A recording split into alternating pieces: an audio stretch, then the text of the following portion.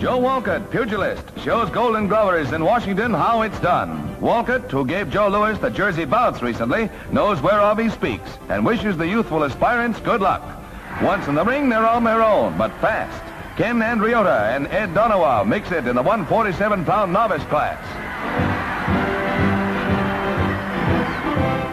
These scrappy youngsters wade in there with everything they've got, and no fooling at any time. Andriota connects with a wallop that brings yells from the crowd and follows it up with more from the same place. Three rounds of punishment like this, and Donowa feels like he's been run over by a 10-ton truck. The ref is inclined to agree with him and says, that's all, brother. The fight goes to Andriota on a technical knockout.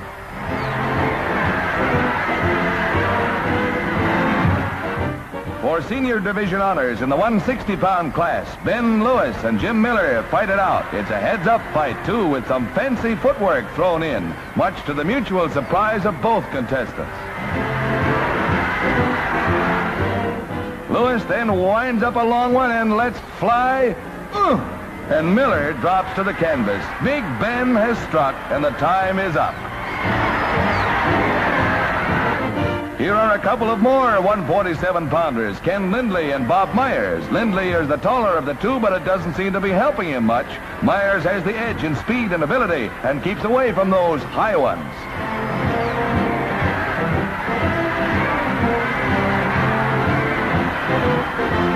This one goes only two rounds. Already Lindley looks winded as Myers jockeys him into position and whammo! And tag, you're it. Golden Glove hopes go a glimmering, and once again it's the old, old story. Somebody's had enough.